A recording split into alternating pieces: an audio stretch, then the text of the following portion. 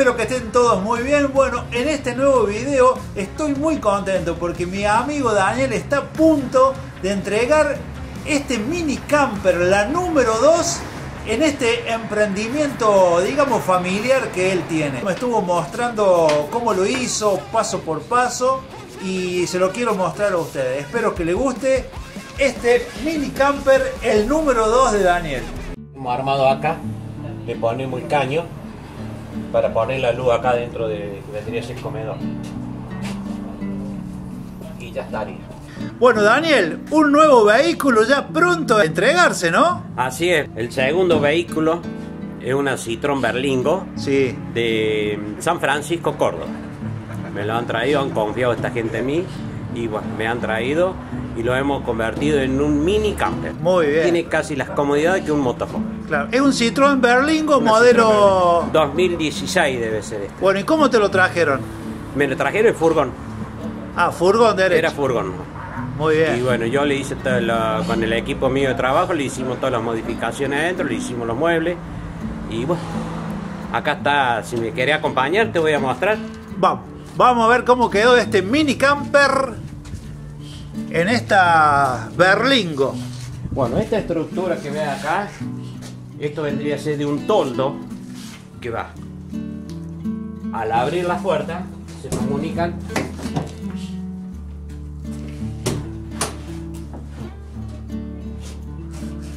Esto va todo con una lona impermeable, todo. Esto vendría a ser el baño para ducharse. Trabajamos, eh, muy distinto cuando trabajé el- en el, el otro motorhome. Trabajamos ocho horas eh, corridas eh, con el personal, nos dedicamos, era la primera vez que hacemos un mini camper de esto.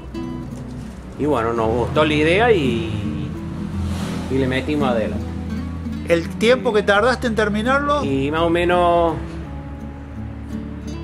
casi dos meses. Casi dos meses de trabajo. Dos meses.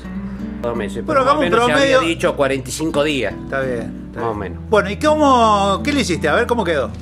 Bueno, acá se le hizo unas cajoneras donde tiene cocina.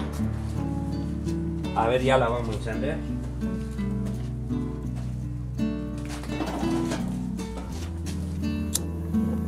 Ahí está. Ah, qué buena llama, che. Con una garrafita de 3 kilos. Una garrafa de De tres. 3 kilos. Ahora hacemos andar esto, lo que son los anafes.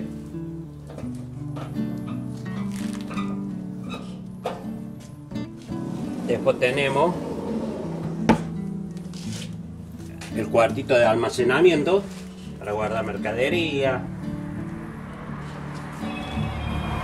Y acá tenemos lo más importante que vendría a ser la bacha para lavar los platos, la tabla para cortar la verdura. Esto lleva una bomba de 12 volt a 220 donde presiona en, lo- en los tanques de agua. Ahí van a prender la bomba. Ahí van a prenderla.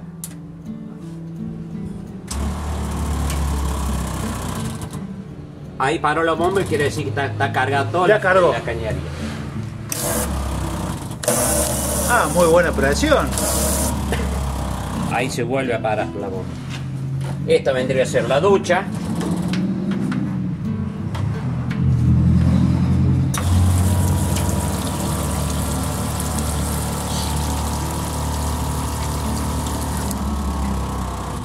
Ahí escucha el ruido y se vuelve a parar la bomba. No circula más agua. Ya va acá puesto con el calefoncito. Ahora te vamos a prender el calefón. ¿La velocidad? 220. No, el teléfono funciona indiferentemente. Listo. Tiene sus pilas y Ahí tiene su, es automático.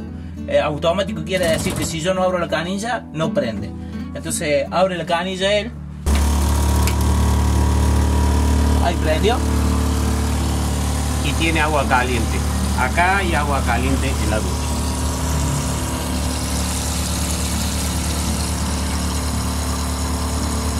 Tiene para regular acá. Acá eh, con esta perilla regulamos. Con esta perilla regulamos nosotros la temperatura, temperatura. de la- del agua.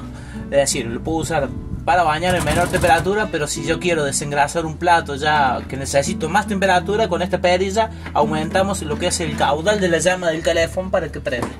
Tiene modo de invierno y modo verano, ya que es un es para poco el recorrido que tiene, con modo verano alcanza Para calentar bien. Sí, y sobra. Bien. No hace falta mezclar el agua. De esta perilla se regula lo que es el caudal de gas para que uno se pueda bañar o pueda desengrasar un plato. Muy bien. Bueno, en esta parte tenemos los tanques de agua para poder usar lo que es la, la ducha y para lavar los platos. Ajá. Esta es la bomba de 12 volt. Esta sí funciona sí o sí con 12 volt, va conectada a la batería. Indiferentemente. ¿Cuántos litros carga esto? Y acá sabes? tenemos más o menos 40 litros de agua. Tenemos. 40 litros. O sea, te alcanza bien para bañarte. Sí, es- se- aproximadamente se calcula por persona para bañarse 20 litros. Claro. Así que tranquilamente se pueden bañar dos, Dos personas. Sin mezclar el agua ni nada. Bueno, ¿y acá qué otra cosa tenemos? Bueno, tapamos acá. Esta es la parte de la, la heladerita. Ah, muy bien, fundamental. Sí, funciona tanto con 12 volt para enchufarla yo en el cenicero o trae esta heladera, trae un transformador de 220 a 12 volt que también lo podemos enchufar directamente al equipo. Este es un sistema de placa Peltier, no tiene, no, es- no es como una heladera común, tiene placas. Eh, enfría casi igual, hasta más o menos 8 grados, 6 grados, baja la temperatura, o sea que yo una bebida la puedo mantener acá. Mantener bien Sí. fría. Eh. Como es un camping, eh, se puede usar para, para bebidas. Podemos poner carne que no pase mucho tiempo. Claro. Y lo vamos o sea, de, un día para el otro la carne se mantiene se perfecta. mantiene perfectamente. Cerramos en este. Y acá tenemos el boti, el sanitario. Ah, estos son los sanitarios. Este es para guardarlo. Muy bien. Después se pliega la, la madera y se extiende, se hace. Acá está la garrafita de tres que estábamos prendiendo recién. Ah, la garrafita de la, de la ANAFE. La garrafa. Y esto.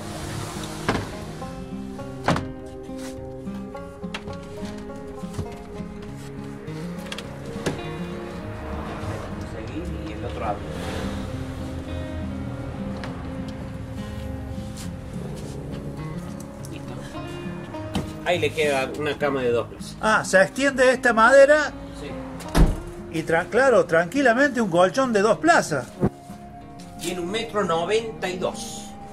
Bueno, David, este mini camper funciona, se alimenta con un panel solar. Contame cómo funciona. Sí, así es exactamente. Bueno, esta unidad tiene un panel solar para poder alimentarse con la luz, luz del sol.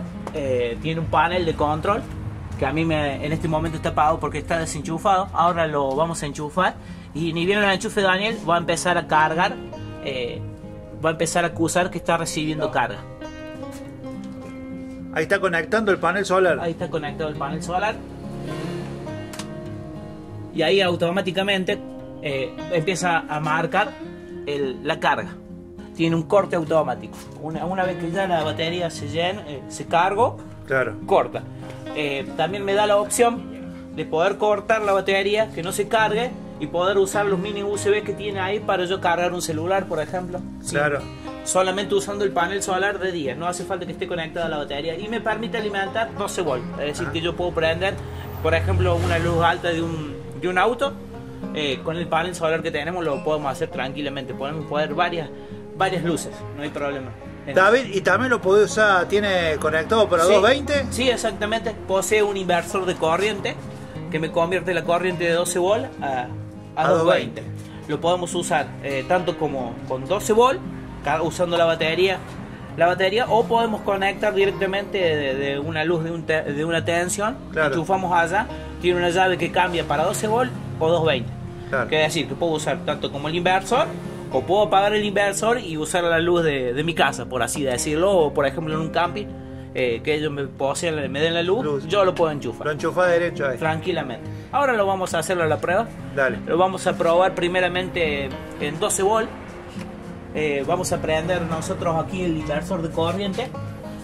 Es este. Una vez que yo lo prendí, se activa, se prende el forzador que tiene para enfriar el equipo. Y allá en el panel que está cerca de la puerta se pone en posición 1.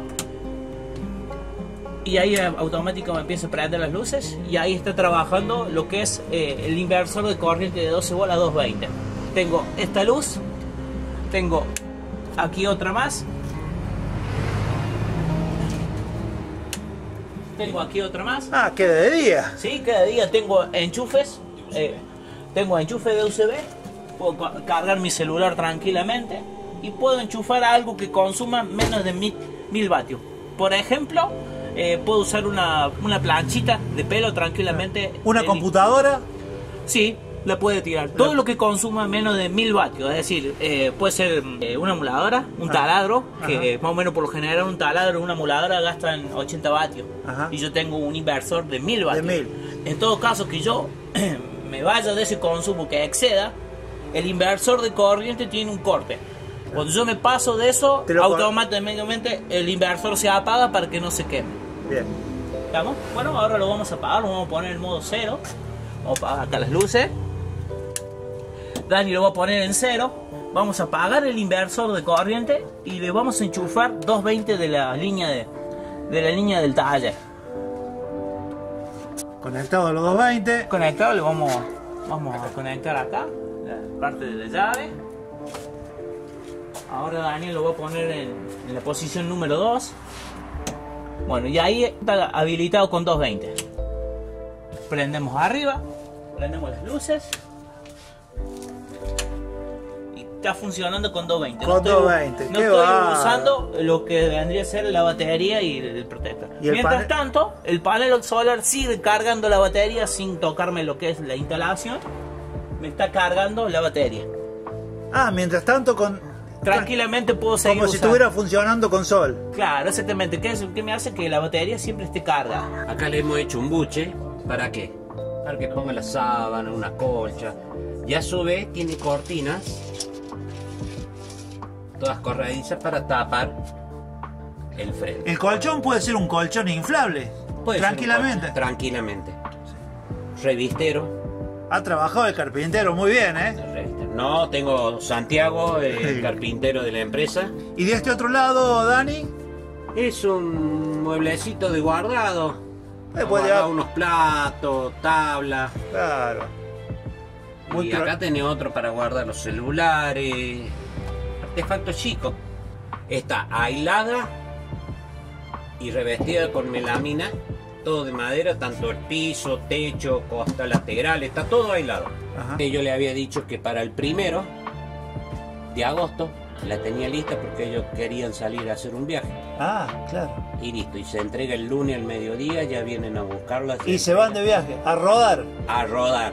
Ya están con el, el gas lleno, está todo, la dejamos llena para que salga. Bueno, esta escalerita y todo, la parrilla de arriba, todo fabricación casera también. Todo es fabricación casera, menos esta escalerita que era el respaldo que viene del furgón. Claro. La utilizamos para hacer la escalerita para poder subir acá arriba el deck. El deck, podés poner una reposera y sentarte arriba, lo más tranquilo, está todo firme, esto. Claro. Le pusimos el nombre la bazoca. Ahí la destapamos y guardamos todo lo que es accesorio del toldo. Todo se guarda ahí para que no ande fierro desparramado,